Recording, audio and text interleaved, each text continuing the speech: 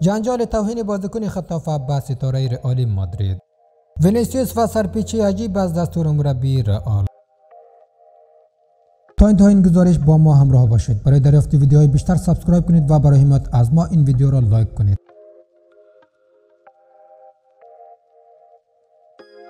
ونیسیوس و سرپیچی عجیب از دستور مربی رئال ونیسیوس ستاره 19 ساله برزیلی رئال مادرید از تمرین سبک پس از اتمام بازی با ختافه خودداری کرد رئال مادرید روز گذشته در کلیسئوم توانست با سه گل بر میزبانش ختافه پیروز شود رئال به این برد نیاز مبرم داشت و توانست به راحتی حریف مادریدی خود را مغلوب کند گل به خودی سنگربان خطافه و گلهای واران و مدریج برتری پرگل را به نام کهکشانی ها ثبت کرد پس از اتمام بازی بدنساز رئال از ذخیره ها و بازیکنانی که به عنوان یار تعویضی به میدان رفته بودند درخواست کرد تا تمرین سبکی را روی چمن ورزشگاه انجام دهند. ونیسیوس که از دقیقه 70 وارد زمین شده بود پس از مدت کوتاهی دویدن عنوان کرد که به دلیل خستگی نمی‌تواند تمرین را ادامه دهد. بدنساز رئال که از این حرکت ناراحت شده بود از ستاره 19 ساله می‌خواهد تا تمرین را ادامه دهد. ولی پس از دقایق بحث و گفتگو در نهایت ونیسیوس حرف خود را تثبیت کرد و برختکن رفت. وینی روزهای خوبی را در رئال پشت سر نمی‌گذارد و اغلب با عنوان بازیکن تعویض وارد زمین می شود یکی از بزرگترین مشکلات عدم دقت در تمام کنندگی است. او برابر خطافه نیز یک موقعیت تک به تک خوب را از دست داد.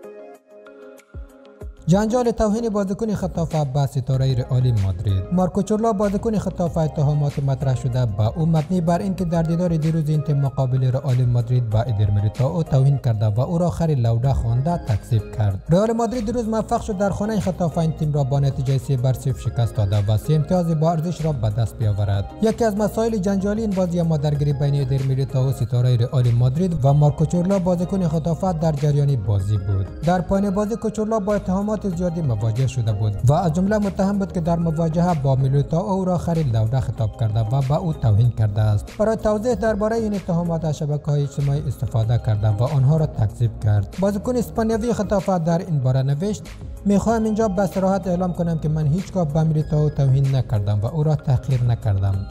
حرفی که من به او زدم این بود که دهنت را ببند. ولی بعضی به اشتباه فکر کردن که کلمه پیکو یعنی دهان که من گفتم میکو یعنی خر بوده است. اگر کسی از این بابت آزرده خاطر شده من از او عذرخواهی می‌کنم. این تنها توضیح است که درباره این اتفاق دارم و بعد از این دیگر دربارهش صحبت نخواهم کرد. سپاس از اینکه تا انتها با ما همراه بودید. شاد و خورم باشید.